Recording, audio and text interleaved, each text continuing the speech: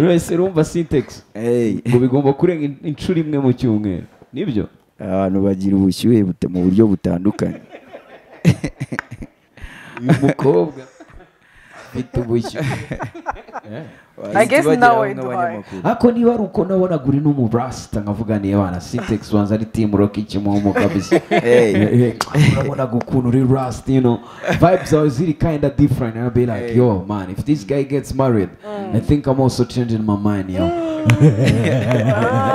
Utwibiye akabanga no why not? None se i think ko buri muntu wese aba afite time ye you know The Choice Live. This is in the building one time welcome to the show man Very nice to see you again nice my to see you brother too man. it's always the vibe you already know the fella yeah we always do it the same way ariko no? syntax bamubona uh, syntax aba ari hejuru cyane if you're plotting to go outside actually indirimbo ni inspiration you know Yeah. Iyo uri gupanga kuza gusohoka uze kumanukana genge yawe.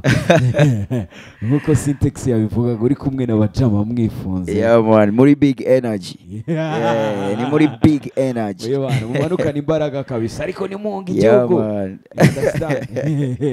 Mu- muri nkwerana amafaranga muyashyiranga sibyo niko bigomba kugenda. Ariko biba bigomba kugenda kabisa. Ah. biragenda? Biragenda kabisa turashima. Iyo uvuze ngo ngo siyeta yeah sieta. Sieta ni agaslogan urumva buri muntu wese aba afite agaslogan ke. Eh, ni akantu gatuma nyine indi spirit ibyuka muri man. Nta busobanuro bwihariye gafite aya nta busobanuro It's just a bwa vibe. it's just a vibe. Yeah. amazing. nari nzajya nshaka kuzamura imyuka nzavuga siyeta eh ni sieta. Eh Eh, Eh.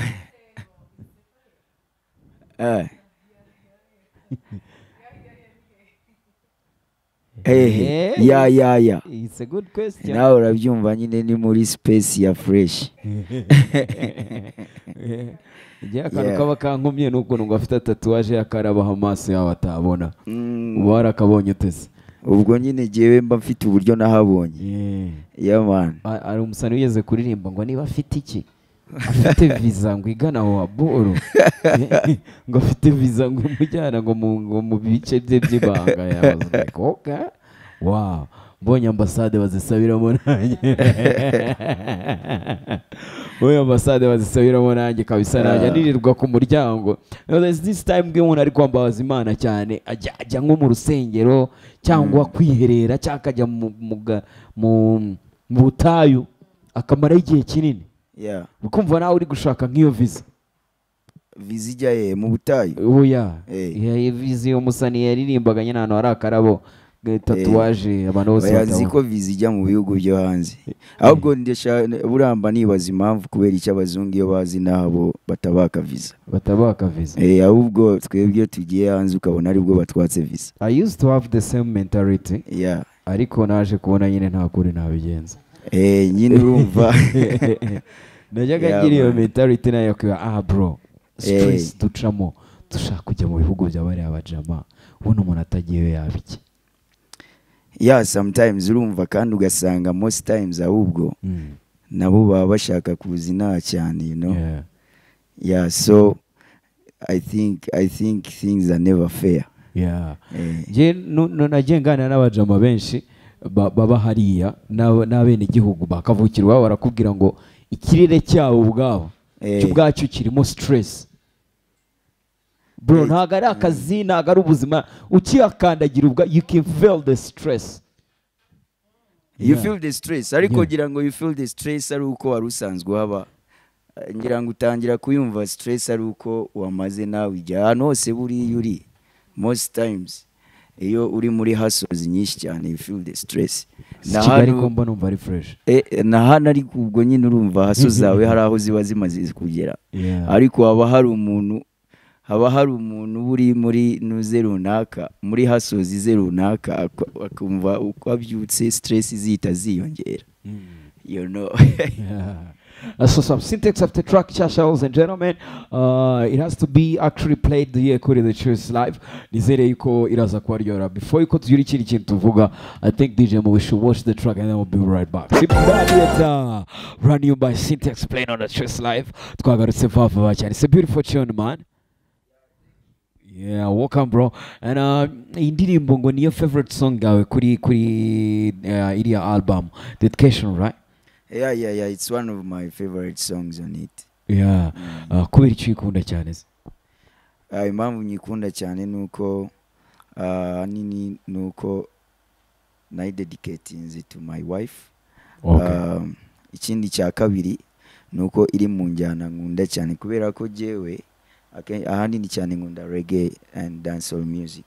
So uh, nisanga kenshi cyane kubera market ndimo. Ndirimba na afrobeats nyinshi cyane Mhm. uh, so uh, iri imwe mu ndirimbo yo na calculator ziri muri genre yanjye cyane uh, Mhm. mu buryo bwa reggae and dancehall Oh, yeah. yeah I guess Calculator has to be the last song to be played on his interview. What do you think, Mr. DJ? Approved. Tested and trusted. You already know.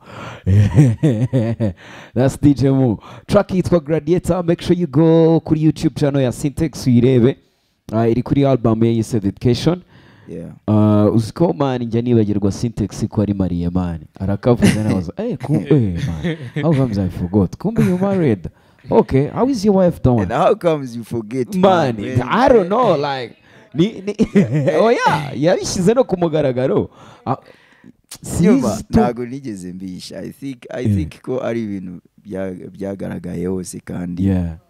Mm, he's a proud husband. Ntabwo ubyemera?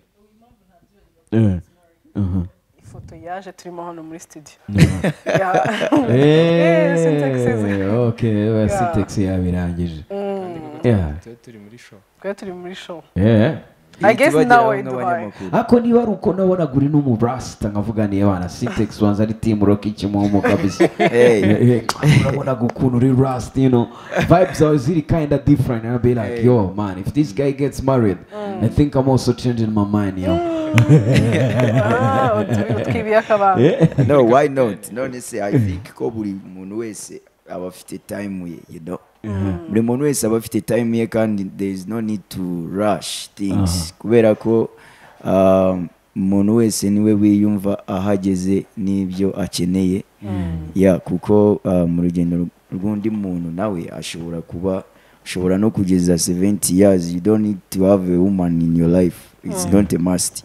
Ntabwo ari ibintu biri must. Ariko urumva sometimes aba, abantu nyine bumva ibintu mu buryo butandukanye. Ubwo jyewe ubwo nageze aho ngaho numva nkeneye nyine icyana ku ruhande. Kabisa.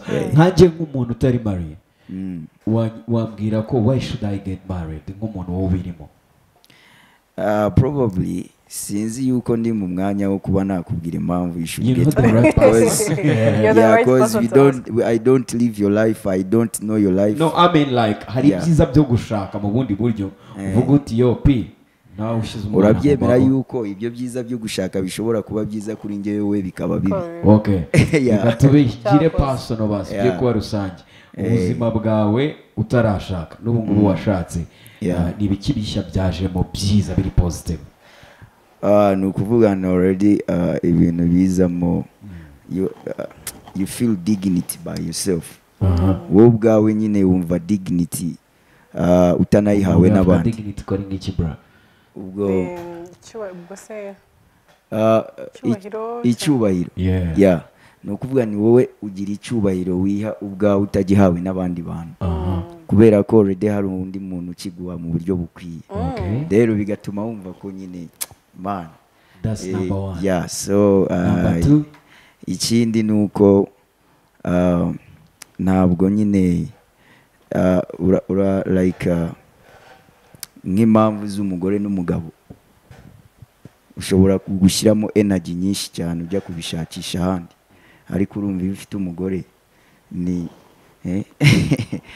ni ni- ni ibya buri kanya igihe ubishakiye you know?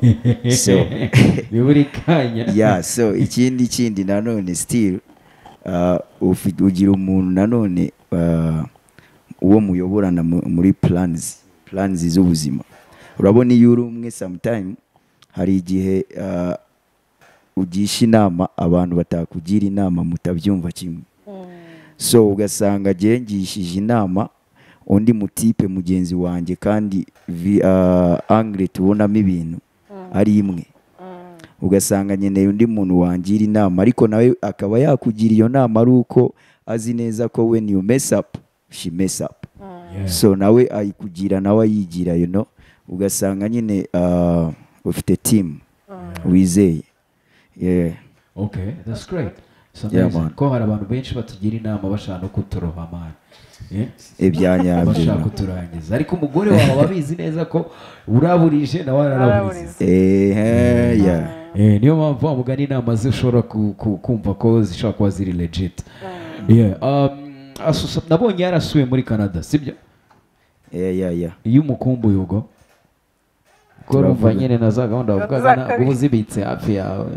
Oya ariko n'ubundi iyo mu- ni ukuvuga niyo n'ubundi tuba turi kumwe. Mm. ya ni uko jyewe staff zanjye ntabwo zose nzishyira kuri Eh, social media. ataba ari kuri video call ibya video nabibonye. Ah, bro. Urumva so uh, of course you kuri video? uh, no i mean uh, tura- turabonana yayo tukabonana nkagaruka eh ujya ujyayo ukongera ukagaruka? Yeah wow. Okay that's great. Ubwo gusa gu- ah ah, wait. Gushaka visa byarakuvunnye ko niko kantu twahereye hano niko kantu twahereye aha. Eh, gushaka visa? Mm, byarakuvunnye uh, gushaka visa ntabwo ari ibintu bivunana cyane. Mm. cyane cyane iyo mu muri family. Ah. yeah. Kubera ko wavugaga vunda abazungu kuki tujya iwabo tukavunika. Bo bajya kuza hano ntibavunike. Yeah of course uh, ibyo ngibyo twabivuzeho nk'impamvu uh, muri general rusange. Bitari ibyo kuvuga ni yenda bari mariye cyangwa iki? Uh, ariko nabivugagaho mu rwego rwo kuba abantu twese dutuye isi know. ubwo niba bazi nta natwe tugomba kujya tujya hirya nk'uko bimeze nk'uko ujya muri kenya nk'uko ujya muri uganda. You understand? Like ni niyo image nari ndi kubivugiramo. Yeah. wabonye wakorerayo umuziki njyewe umuziki wanjye nawukorera ku isi yose. Oya. yeah. That's great. Syntax ladies and gentlemen you had a question. Sibyo I had a wari ufite question. akabazo washaka kumubaza Syntax atubwiye ko nyine igihe akumbuye umugore we yajya kumureba muri Canada nawe agiye kumubaza inshuro afata indege mu cyumweru. Agiye kureba. Ku buryo se wizeye ko urukumbuzi ni ukuvuga ngo bigomba kuba birenze inshuro imwe mu cyumweru. Eh, that's Brenda bro. Nako gashobora kuba ari akazi ku kanya umuntu uzashakana nawe kabisa. Oya unoze ko ikiganiro kijyanye iwanjye buri wese urumva syntax. Hey. ngo bigomba kurenga in- inshuro imwe mu cyumweru ni byo abantu bagira ubushyuhe buta- mu buryo butandukanye. Uyu mukobwa. Afite ubushyuhe wasanga ubwe buri kuri Fahrenheit ziri hejuru. Ubwo ni rimwe rero. buri cyumweru ugomba gufata indege. Ah, yeah igihe mbishakiye you know. Okay. brenda barimo aratanga tips kabisa. Barimo aratanga tips. Ni ukuvuga ngo manega if you not read if you not ready at least yeah, twice a week gumana inyanya zawe. Akaboro k'ejo niko muri ya boro mu ntoki ubu utakugirira ni gute umugona. ni gute umuntu utasya ngo binoge umusaba kuguhekenyera ngo umire? Eh. uzi ko uri muri iki kigero? Eh, ntiwivune. Kugira ngo ni mugabo w'ikiso cyawe wakuraho igishura ko wasanga ari ijwi ry'ingenzi. bamumurinda uwo muntu brenda. Yeah syntax that, that was a beautiful track man gladiator. Thank you, man. s- still uracyari kuduha kuri ya album nyine dedication. If i remember well ishobora kuba warayanawusinze nka last year nko muri october. Yeah na yo anansinze like last year muri October. Mm. ariko hari ibindi nari ndi guhuza urabizi umuziki ntabwo nkukora nka business. Yeah. Nkukora byo kwishimisha.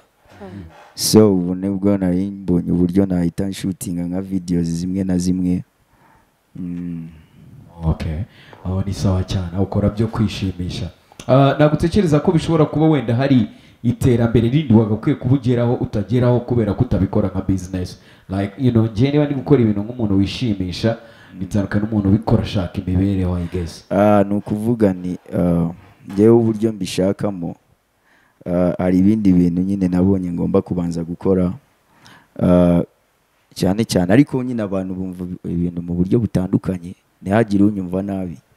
Ariko ngewe ukuntu bimeze nyine hari ibindi bintu nanone still ngomba gukora kuko mba numva nshaka kuba na businessman no mu bindi bintu byinshi so ntabwo nshaka gushyira imbaraga zose muri music cyane cyane yuko ah, ntabwo mfite team iri big big big cyane ku buryo namariramo time yanjye yose. So ni ukuvuga ni nyine mbikora gutyo gusa bigenda gake gake yeah.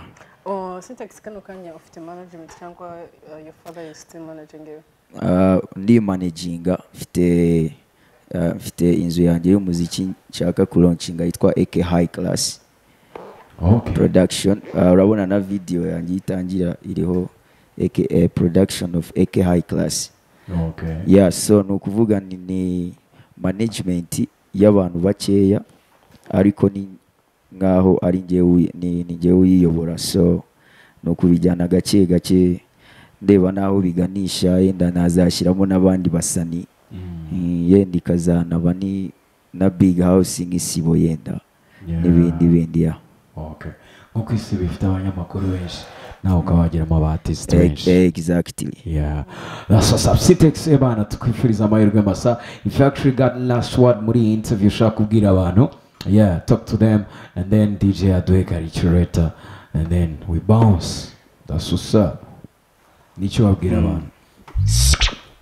ya icyo nabwira abantu ni uko uh, bakomeza nyine gushyigikira umuziki wanjye bakawusangiza abandi ya ndumva ari cyo nabwira abantu nta kindi kintu kirenze cyane cyane ko muri ibi bihe ubuzima bwose ni gatozi Ubuzima ni gatozi. you get it? If you don't get it, forget about it. That's what's up. Yo, Syntax wakoze cyane kuza man. Uh, iracyari the choice live dufite n'abandi batumirwa. Stay tuned party people. Yeah, Kachureta is the next tune. Mr. DJ. The Choice Live.